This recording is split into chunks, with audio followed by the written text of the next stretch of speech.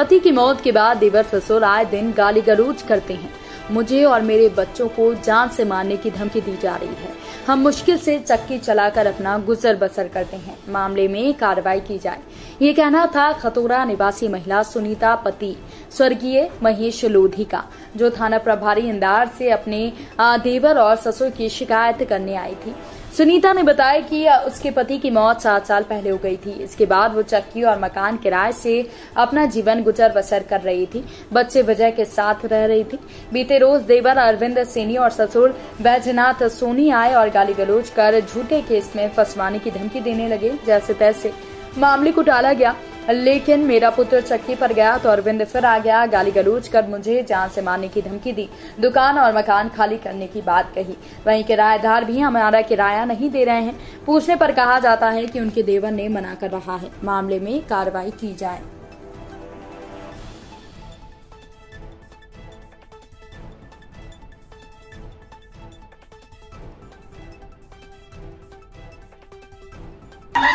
चप्पल लगा मोड़ी चोट के बजा बजा।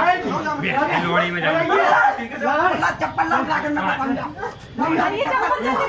बंद रही है बन रही लगा के चप्पल ले मैं नहीं क्या बोला ये ये क्या बोले क्या बोला ये छोड़ो के नहीं बोली बात छोड़ा ना का छोड़ा ना का चप्पल ना मुझे चप्पल चप्पल ले भी तो। दम दम का